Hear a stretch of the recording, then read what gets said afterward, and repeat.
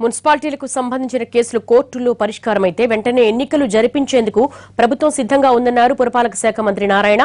తుడా కార్యాలయంలో స్క్రాప్తో తయారు దేవతామూర్తుల ప్రతిమలను పరిశీలించారు. తిరుపతి పట్టణాన్ని మరింత అందంగా ఆహ్లాదకరంగా తయారు చేయడానికి తుడా అన్ని చర్యలు తీసుకుంటుందన్నారు.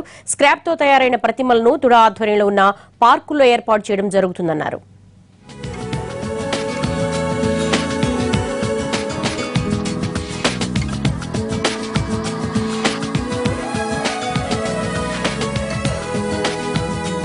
కూడా వారు స్క్రాప్తో ఈరోజు ఇరవై స్టాచ్యూస్ని చేయిస్తున్నారు.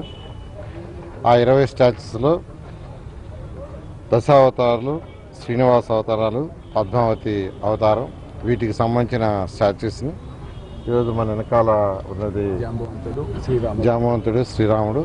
ఇలా ఏదైతే మిగిలిపోయిన స్క్రాప్ ఉందో దాంతో ఈరోజు చేస్తూ తిరుపతి టౌన్లో ఉన్న మూడు పార్కులు పెట్టడం జరిగింది.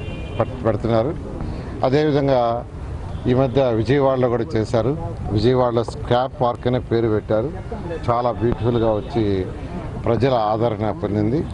అయితే ఇది ఆత్మాత్మిక ప్లేస్ కాబట్టి ఇక్కడ ఈ విధంగా ఒక ఇరవై స్టాచ్యూస్ చేసి డిఫరెంట్ పార్క్స్లో పెడుతున్నారు.